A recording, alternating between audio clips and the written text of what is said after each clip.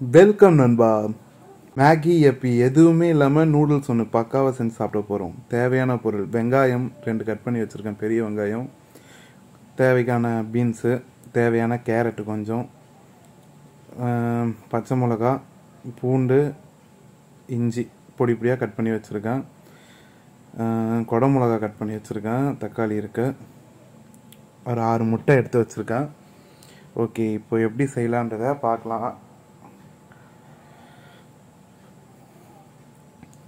நான் நூடுல்ஸ் செய்கிறதுக்காக இந்த எக்கு தான் யூஸ் பண்ண போகிறேன் நண்பா. எக்கில் என்னடா பண்ண போகிற அப்படின்னு பார்த்தீங்கன்னா கொஞ்சம் வெயிட் பண்ணுங்கள் சொல்கிறேன் முதல்ல இந்த மாதிரி எல்லா எக்கையும் உடச்சி ஒன்று சேர்த்து வச்சிடலாம். நான் ஒரு ரெண்டு பச்சை மிளகா கட் பண்ணி போட்டிருக்கேன். நீங்கள் எத்தனை எக்கு போடுறீங்களோ உங்களுக்கு அதுக்கேற்ற மாதிரி போட்டுக்கோங்க. கொஞ்சம் உப்பு சேர்த்துக்கிறேன். காரத்துக்கு ஏற்ற மாதிரி நம்ம பச்சை மிளகா சேர்த்துக்க வேண்டியதுதான். கரம் மசாலா பவுட்ரு ஒரு ரெண்டு ஸ்பூன் போட்டுக்கிறேன். மஞ்சத்தூள் கொஞ்சம். வீட்டு மிளகாத்தூள் கொஞ்சம்.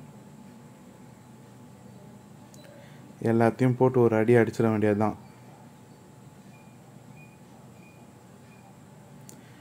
நல்லா மிக்ஸ் பண்ணிக்கலாம்.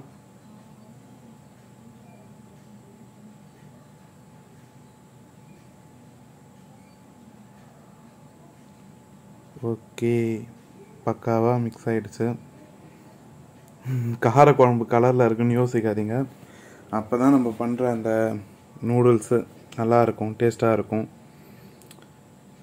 இந்த மாதிரி ஒரு கடாயை வந்து எண்ணெயை ஊற்றி சூடு பண்ண வேண்டியதான் நம்ம ஆம்லேட் ஊற்றுற மாதிரியே தான் ஊற்றி எடுக்க போகிறோம் ஒவ்வொன்றா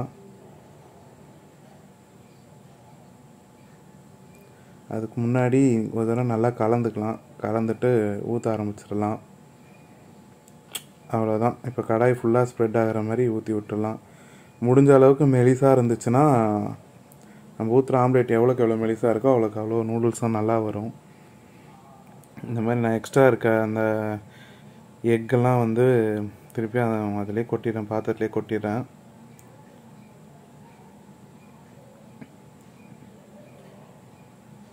நம்ம போடுற இந்த ஆம்லேட் வந்து தீஞ்சிடக்கூடாது. தீயாமல் இருந்துச்சுன்னா டேஸ்ட் இன்னும் நல்லாயிருக்கும் நான் இந்த மாதிரி ஒரு நாலு அஞ்சு பண்ணி வச்சிட்ருக்கேன். பாருங்கள்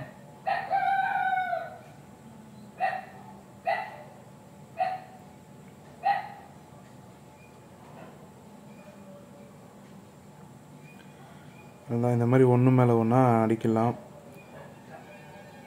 இது நல்லா ஆறிட்டோம் இது. நம்ம சூடாக கட் பண்ணோன்னா ஸ்லைஸ் ஒழுங்காக வராது.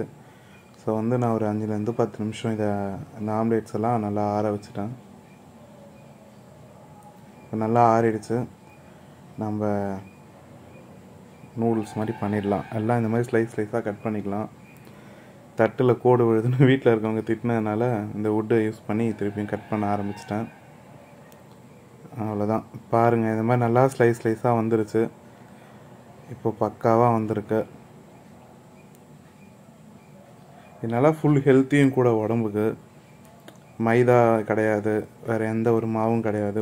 ஃபுல் அண்ட் ஃபுல் எக்கு தான். ஸோ நல்ல ஹெல்த்தியான ஃபுட் இது. இந்த மாதிரி ஒரு கடாயில் ஆயில் ஊற்றிப்போம் பட்டை சோம்பு லவங்கம் எல்லாத்தையும் சேர்த்துக்கலாம். இந்த பிரியாணி மசாலா மாதிரி தாங்க இது. நான் வாசத்துக்காக போடுறது தான் அடுத்து வெங்காயத்தை ஆட் பண்ணிக்கிறேன். வெங்காயம் நல்லா கொஞ்சம் தா நல்லா தாளிச்சிடுறேன். வெங்காயம் கொஞ்சம் கலர் மாறினதுக்கப்புறம்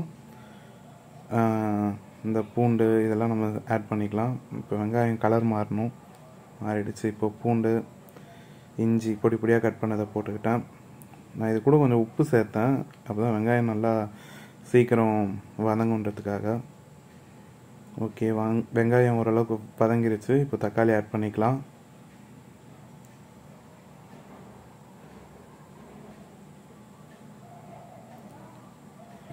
இப்போ கூட ஒரு மூணு பச்சை மிளகா ஒன்று ஆட் பண்ணிக்கிறேன். இது வந்து வாசத்துக்காக தான் ஆட் பண்ணுறது கொஞ்சம் நல்லா மனமாக இருக்கும். அதுக்காக பச்சை மிளகா ஆட் பண்ணிக்கிறேன். இப்போ அடுத்து பீன்ஸு கேரட்டு இந்த குடமிளகா இது எல்லாத்தையுமே கூட சேர்த்து நல்லா வதக்க ஆரம்பிச்சிடலாம்.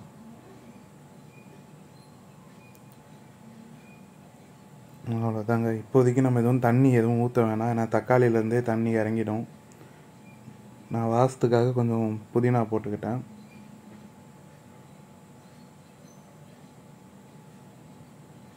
நல்லா ஸ்டவ்வை சிம்மில் வச்சுட்டு க்ளோஸ் பண்ணிடலாம்.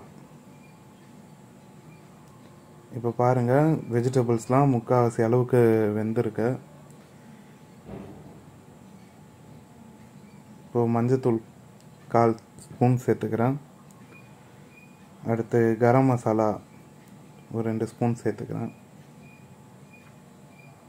அடுத்து வீட்டு மிளகாய் தூள் ஒரு ஸ்பூன் சேர்த்துக்கிறேன். அடுத்து சில்லி பவுட்ரு கொஞ்சம் சேர்த்துக்கிறேன். இப்போ எல்லாத்தையும் சேர்த்து ஒரு கலர் கலரிடலாம்.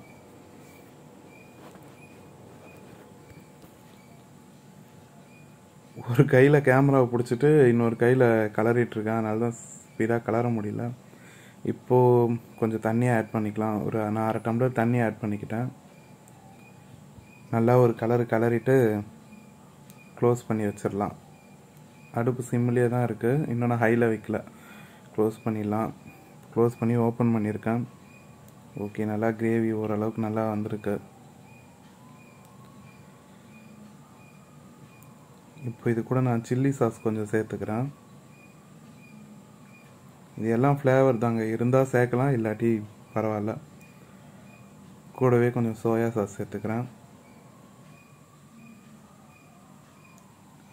ஓகே எல்லாத்தையும் ஒரு கலரு கலரிட்டேன் உங்களுக்கு பார்க்கும்போதே தெரியும் நல்ல ஒரு கிரேவி நல்ல ஒரு ஃபீலை கொடுக்கும். பார்க்க. வாசனையும் பயங்கரமாக இருக்குது நீங்கள் இது கூட வேணுமா கொஞ்சம் பிரியாணி மசாலாவும் சேர்த்துக்கலாம். நான் ஆனால் சேர்க்கல. இப்போ அடுத்து நம்ம கட் பண்ணி வச்சுருக்க இந்த எக்ஸை வந்து கூட சேர்த்து கலரிலெல்லாம்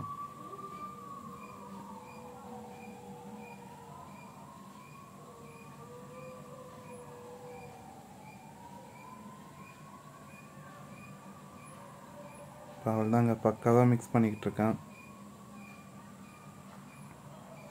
ஓகே இப்போது ரெடி ஆகிடுச்சு இப்போ சுட சுட பரிமாற வேண்டியது தான்